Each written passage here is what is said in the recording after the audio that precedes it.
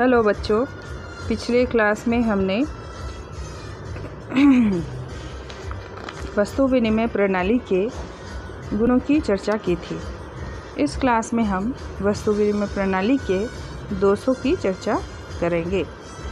वस्तु विनिमय प्रणाली में अनेक दोष हैं, जैसे कि दोहरे संयोग का अभाव, जिसके अंतर्गत वस्तु विनिमय प्रणाली में दो दो व्यक्तियों को एक दूसरे की आवश्यकताओं को पूरा करने के लिए उस समय तक रुकना पड़ता है, जब तक कि वह एक दूसरे से मिले नहीं और उन्हें एक दूसरे की आवश्यकता की वस्तुओं को, के विनिमय की उनमें इच्छा ना हो या संयोग ना बने। ऐसी अवस्था में एक व्यक्ति को उस दूसरे व्यक्ति के लिए रुकना तब तक पड़ता है, जब तक कि दूसरा व्यक्ति, जो व्यक्ति के पास उसकी आवश्यकता की वस्तु है, उसे ना मिले और वो उसके साथ विनिमय करने के लिए तैयार ना हो। दूसरी इसकी, जो सबसे महत्वपूर्ण कठिनाइयाँ हैं, वो है धन संचय। वस्तु विनिमय प्रणाली के अंतर्गत हम धन का संचय नहीं कर सकते या संग्रहण नहीं कर सकते। ऐसा इसलिए बच्चों, क्योंकि वस्तु विनिमय प्रणाली के अंतर्गत मुद्रा का कोई स्वरूप नहीं होता। जो वस्तुएँ होती हैं वस्तुएँ के एवज में विनिमय की जाती हैं और वस्तुओं का संचय नहीं किया जा सकता क्योंकि वस्तुएँ नासवान होती हैं और उनका एक जीवन काल होता है। तीसरी जो सबसे महत्वपूर्ण समस्या है इस प्रणाली में थी वह थी वस्तुओं की अविभाज्यता। वस्तुएँ अगर विभाज्य है तो उसमें विनिमय करना आसान है। लेकिन यदि वस्तुएँ अविभाज्य है तो ऐसी अवस्था में एक गंभीर समस्या उत्पन्न हो जाती है। मान लेते हैं कि एक व्यक्ति के पास एक घोड़ा है और उसे उसका विनिमय करना है एक भेड़ों के साथ जो अगले व्यक्ति के पास है तो अब दोनों के बीच में विनिमय का क्या आधार होगा, यह तय करना बहुत कठिन है क्योंकि दोनों ही वस्तुएँ जो व्यक्तियों के पास है, वो अविभाज्य हैं। ऐसी अवस्था में वह व्यक्ति अपना जो तीव्रता का प्रयोग करेगा और तीव्रता के आधार पर तय होगा कि कितने भेड़ों के बदले में एक घोड़े का विनिमय हो सकता है। लेकिन ये, यह जो विनिमय होगा, वह पूर्ण पूर्ण, पूर्णतः होगा, क्योंकि एक घोड़े के बदले में साढ़े चार, साढ़े पाँच भेड़ों का विनिमय नहीं हो सकता। चौथी जो इसकी महत्वपूर्ण कठिनाइयाँ हैं, वो है मूल्य का समान सामान्य मापदंड जो सबसे बड़ा अभाव पाया जाता है यहाँ पर मूल्य का सामान्य मापदंड पाया जाता है क्योंकि यह मुद्रा नहीं उपस्थित होती है इसीलिए सभी इकाइयों का समान मापदंड नहीं होता। वस्तुएँ और सेवाओं को माप सकते हैं लेकिन उनको मापने का आधार कोई एक आ, हम ये बोल सकते हैं कोई सार्वभौमिक कोई आधार उपलब्ध नहीं होता। जो आधार होता है, वह व्यक्ति खुद खुद से तय करते हैं। तो यह संयोग बस होता है। कोई व्यक्ति की तीव्रता अगर अधिक हो, या बहुत दिन के बाद वो उसे वैसा व्यक्ति मिला हो, जो उस वस्तु को विनिमय करने के लिए तैयार हो तो वह हर एक स्थिति में उससे विनिमय करेगा। तो ऐसी अवस्था में यहाँ पर कोई सामान्य मापदंड नहीं होता। मतलब आज के सेंस में, आज के दौर के अनुसार से कुछ कीमत नहीं होती। जो कीमत होती है, वो व्यक्ति खुद तय करता है। जैसे हम बाज़ार जाते हैं तो वस्तुओं की कीमत होती है और हम उसे तय नहीं करते हैं, बल्कि उसकी लागत और विभिन्न प्रकार की लागतें तय करती हैं। बाज़ार में मांग की अवस्था, पूर्ति की अवस्था तय करती है। लेकिन यहाँ पर वस्तु विनिमय प्रणाली में व्यक्ति एक दूसरे से जो व्यापार करते हैं, विनिमय करते हैं, उनके बीच में वो व्यक्ति दोनों ही आपस में तय करते हैं कि वस्तुओं का विनिमय किस आधार पर होगा।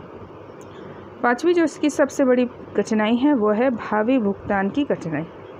इस प्रणाली में हम भावी भुगतान का कोई सिद्धांत नहीं है। मतलब अगर कोई व्यक्ति चाहे कि इस वस्तु को हम आज उपलब्ध कराएँ और इसका भुगतान हम भविष्य में करें तो ये नहीं कर सकता है। उसे जो करना है, वर्तमान स्थिति में ही करना है। तो बच्चों, यह हुई हमारी मुद्रा के अभाव में जो प्रणाली उपस्थित थी, उसके दोष। अब मुद्रा का उद्गम कैसे हुआ? इसके ऊपर अगर हम प्रकाश डालें तो हम देखेंगे कि मुद्रा का उद्गम चरणबद्ध तरीके से हुआ। इसके छः या सात चरण हैं, जो आज के दौर में चल रहा है, जो सातवां चरण है। प्रथम अवस्था, द्वितीय अवस्था, तृतीय अवस्था, चतुर्थ अवस्था, पंचम अवस्था, छठी अवस्था और सप्तम अवस्था। प्रथम अवस्था के अंतर्गत वस्तु मुद्रा का चलन था। वस्तु मुद्रा भी अलग अलग युग में अलग अलग रूप में प्रयोग किया जाता था। जैसे कि वस्तु मुद्रा जब आखेट युग में था तो वह चमड़ा के रूप में था। जैसे कि पशुओं के छाल को या चमड़े को मुद्रा के रूप में व्यापार में प्रयोग किया जाता था। वही वस्तु मुद्रा जब चारागाह युग में था तो वह जान पशुओं के रूप में था। जैसे गाय, बैल, भैंसे, भेड़े, इस प्रकार उसे वो मुद्रा मानते थे और उसके आधार पर व्यापार करते थे। यही अवस्था जब कृषि युग में था तो स्वरूप जो था मुद्रा का, वो अनाज के रूप में था और अनाज को ही मुद्रा के रूप में प्रयोग किया जाता था। द्वितीय अवस्था वो थी जब धातु मुद्रा का उद्गम हुआ। धातु मुद्रा मतलब ऐसी ऐसी मुद्रा जो धातु से बनी हो।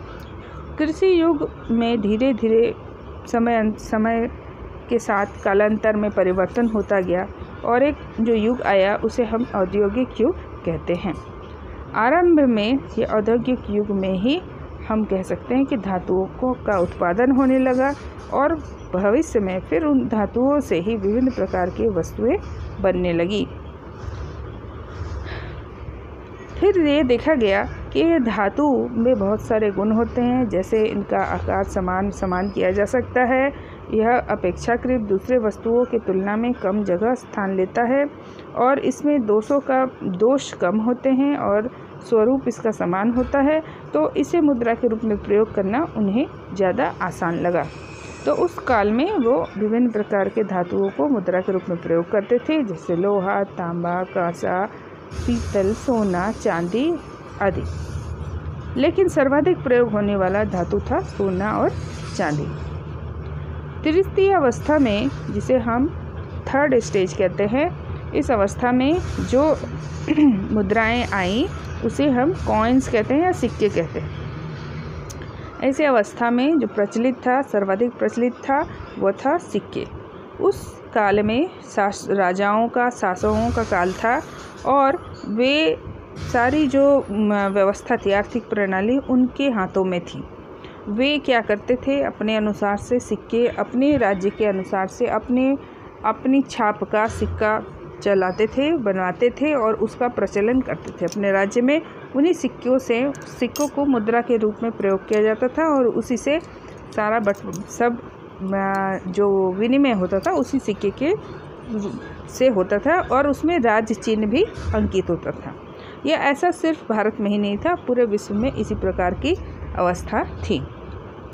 चौथे युग में, चौथी अवस्था में हम देखेंगे कि पत्र मुद्रा का उद्भव हुआ।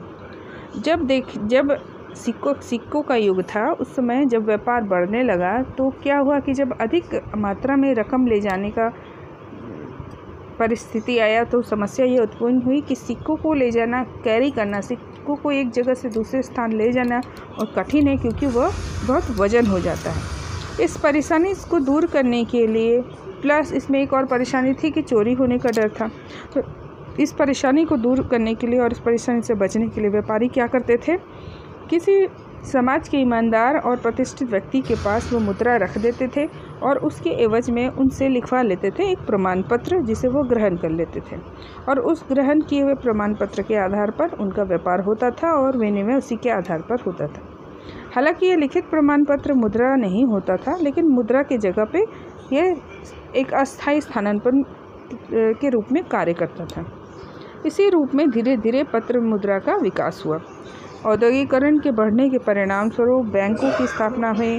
बैंकों के द्वारा मुद्रा निर्गत कराए गए। सरकार, विभिन्न प्रकार के सरकार जो है मुद्रा जारी करने लगे और बहुत सारे जगह में हम ये देखते हैं कि मुद्रा ही जो जो प्रमाण पत्र लिखित प्रमाण पत्र को भविष्य में मुद्रा ही माना गया क्योंकि वह मुद्रा का ही प्रतिनिधित्व करता था।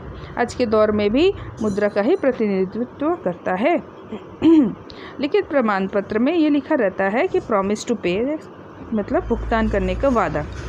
अर्थात यह एक मुद्रा के स्वरूप में व्यवहार किया जाने वाला लिखित प्रमाण पत्र होता था, जहाँ पर बैंकों के द्वारा लिखा रहता था कि भविष्य में, भुगतान करने का वादा करते हैं। ये वाक्यांश का प्रयोग किया जाता था अर्थात जिसके बीच में विनिमय हो रहा है वो व्यक्ति उस कागज़ के टुकड़े को प्रयोग कर रहा है लिखित रूप से लिखित कागज़ के लिखित प्रमाण पत्र का मुद्रा के रूप में प्रयोग कर रहा है अगला को दे रहा है और वो बैंक बोल रहा है कि मैं प्रॉमिस करता हूँ कि मैं अगले को इसको इसकी जो जो मात्रा मा, मुद्रा की जो उसका जो अमाउंट है उसे वो चुकाएगा। इस प्रकार से धीरे धीरे क्या होने लगा कि जो सबसे महँगे धातु हुआ करते थे, जैसे सोना और चांदी, उसके मूल्य के बराबर रखे जाने लगे बैंकों में और उसके एवज में यह लिखित प्रमाण पत्र निर्गत कराया गया और यह धीरे धीरे पत्र मुद्रा का स्वरूप बना। पांचवी अवस्था जो थी वह थी साख मुद्रा। साख मुद्रा का जो प्रचार इस प्रकार हुआ कि इसका अपने आप में जो मौद्रिक या अंकित मूल्य, उसका निर्माण लागत से अधिक होता है। साख मुद्रा का निर्माण लागत और उसका अंकित मूल्य अलग अलग होता है। साक मुद्रा बैंकों में रकम जमा करने पर प्राप्त की जा सकती है। ठीक है जिस प्रकार से कि प्रारंभ में वास्तव विभिन्न प्रकार के व्यापारिक बैंक होते थे, जो भुगतानों को निपटाने के लिए विभिन्न प्रकार के कार्य करते थे। साख मुद्रा का बहुत सारा स्वरूप होता है। जैसे कि हम लोग आज भी प्रयोग करते हैं चेक, बैंक का ड्राफ्ट या बिल ऑफ़ एक्सचेंज या विनिमय बिल इत्यादि। उसी प्रकार से जो छठी अवस्था हुई, वो थी प्लास्टिक मुद्रा, जिसे हम कहते हैं प्लास्टिक मनी। पत्र मुद्रा के विकास के बाद साख मुद्रा आई और साख मुद्रा के विकास के बाद प्लास्टिक मुद्रा आई। प्लास्टिक मुद्रा को हम आज के दौर पे क्रेडिट कार्ड और डेबिट कार्ड को कहते हैं, जिसके नाम से ये प्रचलित है। सातवीं अवस्था जो थी, वो थी डिजिटल मुद्रा, जो आज के लॉकडाउन के पीरियड में सबसे ज़्यादा मशहूर है। वो है आपकी डिजिटल मुद्रा, और डिजिटल मनी हम लोग कहते हैं, जैसे इंटरनेट के थ्रू पेमेंट करना, मोबाइल ऐप के थ्रू पेमेंट करना, फ़ोन पे, गूगल पे, एन करना यह सब जो है डिजिटल मुद्रा का स्वरूप है, पेटीएम। ठीक है बच्चों? अब हम मुद्रा की परिभाषाओं का चर्चा करेंगे। लेकिन सबसे पहले हमें यह जानना ज़रूरी है कि मुद्रा का सब मुद्रा शब्द कहाँ से आया?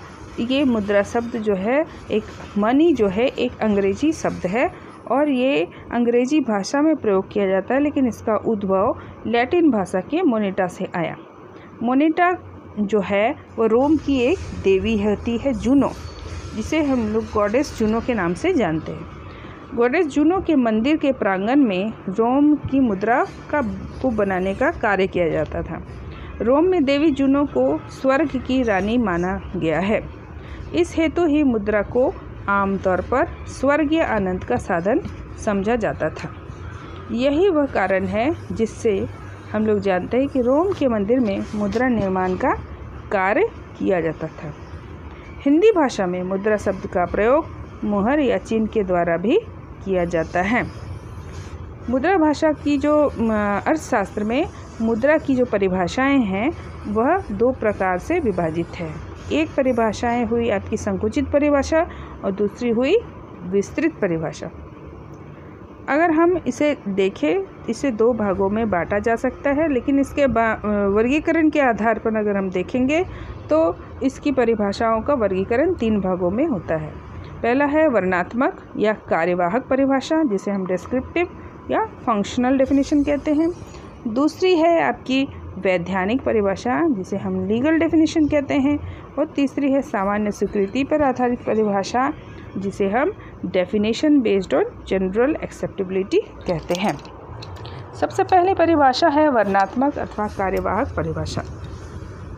वर्णात्मक अथवा कार्यवाहक परिभाषा और डिस्क्रिप्टिव और फंक्शनल डेफिनेशन मुद्रा की वर्णात्मक या कार्यवाहक परिभाषा के अंतर्गत अगर हम जाएँ तो मुद्रा का अर्थ है उसके कार्यों द्वारा हम लोग उसको स्पष्ट करते हैं कि मुद्रा का क्या अर्थ है। अर्थात, कुछ अर्थशास्त्रियों ने मुद्रा के कार्य को विभिन्न भागों में बांटा है। जैसे हॉट्रे हर्टले ब्रीदर्स हटले ब्रदर्स ने अपने शब्दों में कहा है कि मुद्रा वो है जो मुद्रा का कार्य करती है। Money is what money does Hawtrey brothers इसको इंग्लिश में बोलते हैं हॉटरे ब्रदर्स इन्होंने मुद्रा को परिभाषित किया है और इन्होंने कहा है money is what money does मतलब मुद्रा वो है जो मुद्रा का कार्य करती है। उसी प्रकार कोलबर्न ने भी इसे परिभाषित किया है। कुलबर्न के अनुसार से मुद्रा वो है जो मूल्य का मापक है और भुगतान का साधन है। परंतु इन परिभाषाओं में कुछ आलोचनाएँ भी बाद में उत्पन्न हुई। क्यों आलोचनाएँ उत्पन्न हुई? क्योंकि यह परिभाषा पूर्ण परिभाषा नहीं है। मुद्रा के सभी कार्यों का यह वर्णन नहीं करती है। जैसे कि आलोचना हुई, इसकी वैधानिक मान्यता पर इस परिभाषा देने वाले अर्थशास्त्रियों ने ध्यान नहीं दिया। मतलब इन परिभाषाओं में इसकी वैधानिक मान्यताओं के बारे में कुछ चर्चा नहीं की गई है। तो दूसरी जो परिभाषा थी, वो वैधानिक परिभाषाएँ थी। वैधानिक परिभाषाएँ भी इस मुद्रा के राज्य सिद्धांत पर आधारित है, स्टेट थ्योरी ऑफ़ मनी, और यह परिभाषाएँ जो है विभिन्न अर्थशास्त्रियों द्वारा घोषित की है। सबसे पहली परिभाषा जो है हॉट्रे के द्वारा दी गई है। हॉटरे ने कह, हॉटरे भी, हॉटरे जो है, ऐसे तो वो नैप की ही परिभाषा को अपनाते हैं और उन्होंने नैप की परिभाषा को थोड़ा सा सुधार लेने की चेष्टा की है। हॉटरे ने कहा है, मुद्रा केवल विधि, ग्रह या लीगल टेंडर ही नहीं है, वरन हिसाब की इकाई, यूनिट ऑफ़ अकाउंट भी है। इस प्रकार यह नैप की परिभाषा से कुछ बेहतर है।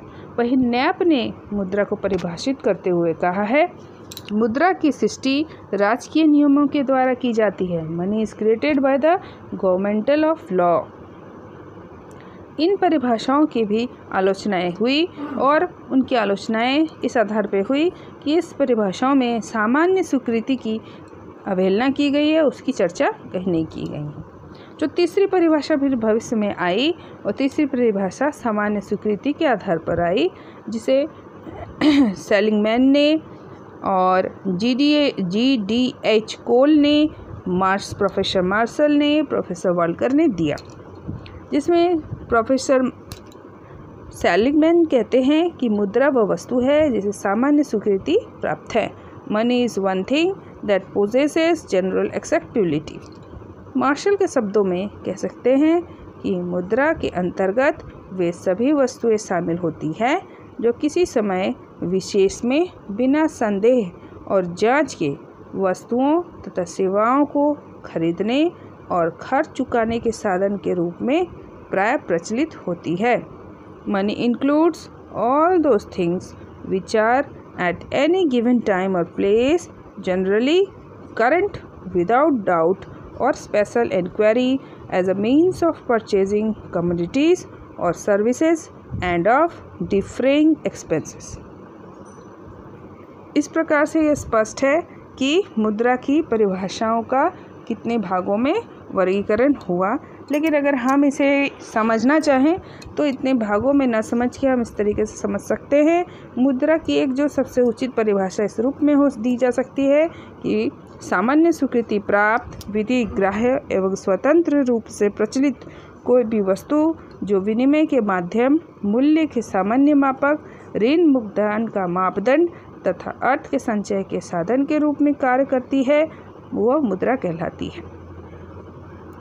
तो बच्चों, हमने यहाँ मुद्रा के परिभाषाओं के ऊपर चर्चा किया। अब हम पढ़ेंगे मुद्रा के प्रकार या मुद्रा का वर्गीकरण। आपको जानकर बहुत आश्चर्य होगा कि मुर्गा भी मुर्दा भी आ, मुद्रा भी बहुत प्रकार का होता है। मतलब मुद्रा भी अपने अलग अलग स्वरूपों को लेता है। जैसे पहला पूर्णकाय मुद्रा।